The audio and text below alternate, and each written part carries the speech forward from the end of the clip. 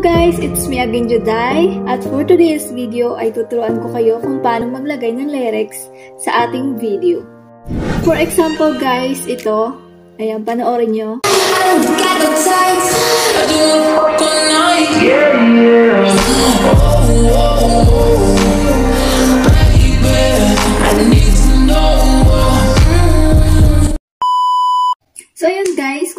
malaman kung paano maglagay ng lyrics sa ating video, ay don't skip this video para magkaroon kayo ng idea kung paano maglagay. Keep watching this guys at mag-umpisa na tayo.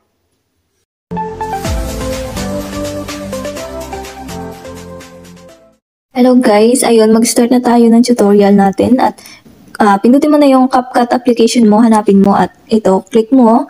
Tapos, ayun, lalabas new project, pindutin mo yan. Tapos, select mo yung video mo na gusto mong lagyan ng uh, lyrics. Tapos, may lalabas din sa baba na add. Pindutin mo yan. Tapos, i-select mo tong video mo. Ayan. At hanapin mo dito sa baba yung copy. And then, pindutin mo. Tapos, select mo tong uh, kinapin mo itong pangalawa. Ayan.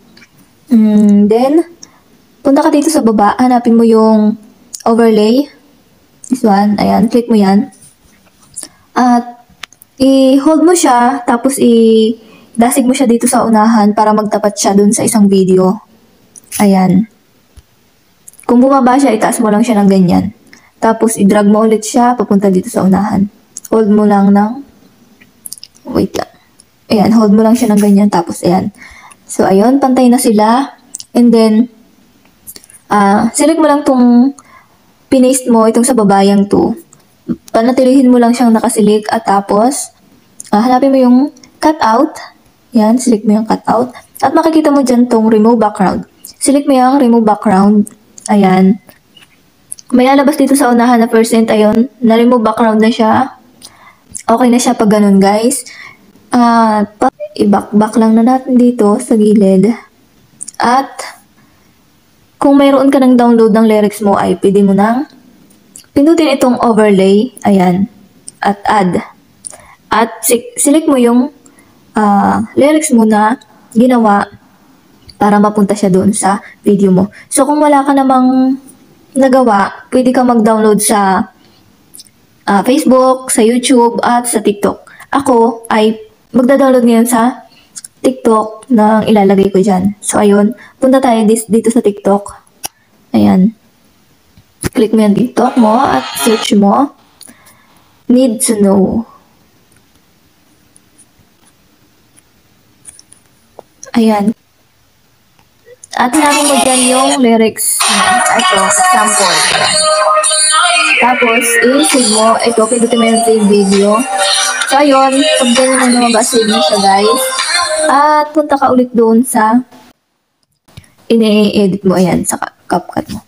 At tapos, i pindutin mo yung overlay. Add overlay. At select mo yung uh, lyrics na i-download mo.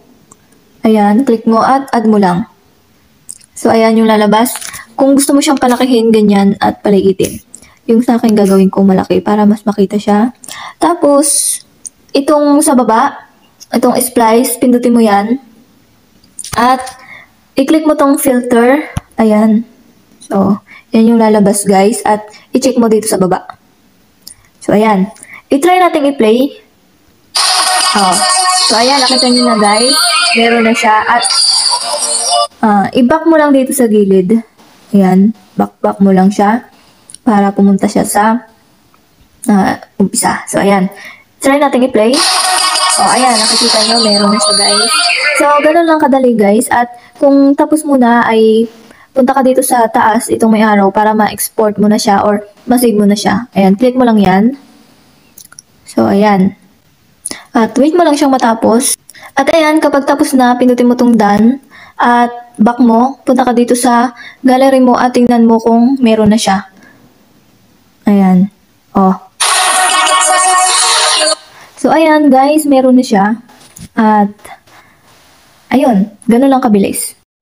Guys, ganun lang kabilis gumawa ng lyrics sa ating video. At, kung nagustuhan nyo to, ay magpunta kayo sa aking uh, YouTube at ah, click mo yung like, share, and subscribe, and hit the notification bell para lagi ka update sa aking mga susunod na video na i-upload. So, ayan lang guys, at bye-bye! Ingat!